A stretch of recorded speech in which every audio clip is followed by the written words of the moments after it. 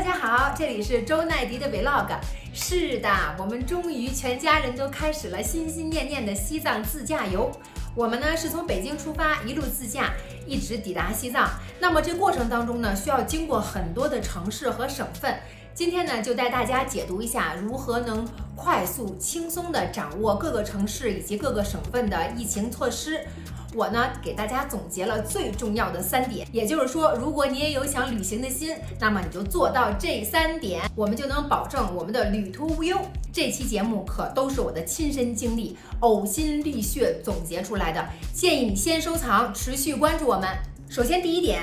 一定要提前一周的时间，在官网上查询你下一站要抵达的城市的疫情政策。那么我给大家推荐的最简单的查询方式，就是你打开抖音，在搜索框里直接搜索“疫情”两个字，然后就会出现疫情的实时追踪。紧接着我们往下看，找到疫情政策，在这个空白处输入你下一站要抵达的城市，比如说我们从北京到兰州，这样就可以查到相关的政策。然后呢，你再对照自己所在区域的疫情等级，就可以很方便、很快捷地找到你下一站抵达的这个城市针对你自身情况的疫情措施。接下来就是重要的第二点，我相信肯定有朋友不会查询自己所在区域的风险等级，那么我们就在手机小程序里面直接搜索国务院客户端。进去之后，找到疫情风险查询，紧接着我们点进去就可以查询到区域的风险等级，比如可以选择北京市西城区金融街街道，下面出现的就是精确到这个街道的风险等级。